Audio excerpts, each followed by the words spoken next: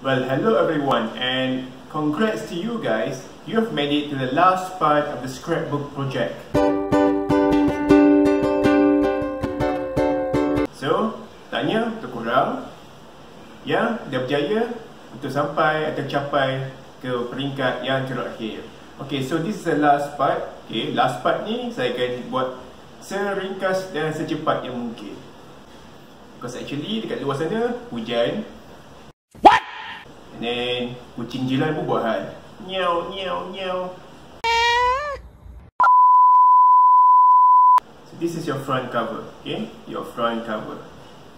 So korang akan ada my PDPR scrapbook and also your name and your class, okay? Decoration dan hiasan tu ikut korang. This is the next page, so it's about me, okay? About ni uh, maksudnya tentang saya ataupun biodata awak, okay? So semuanya tentang awak. So we have a lot of things here. So we have like name, age, nationality, favorite food, favorite color, ambition. A few moments later. And then we have this one. Okay, this is basically from part 1. If you haven't watched part 1, please watch the video. Then we have this one and followed by this one right here. So these two were from basically uh, module 2 or part 2. If you haven't watched part 2, do watch part 2. After that, we have about Kevin Strip, okay, this one, followed by this page, number 1 to number 4, and also the next page, 5 and 6. All from part 3. Okay, if you haven't watched part 3, here's the link to part 3. Next, we have Haruraya. This one, basically from part 4. If you haven't watched part 4, do check out part 4. And finally, we have about food.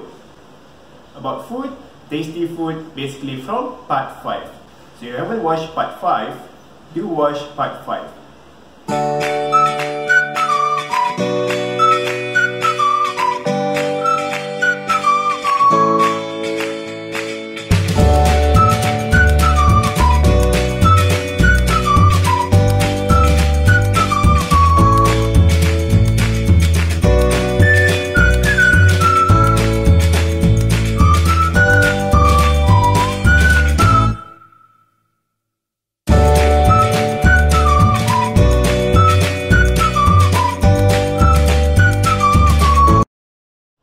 So everyone, this scrapbook is up to you. You can um, staple the sides, okay, boleh stapler and maybe you guys can do comb binding, okay, boleh buat binding.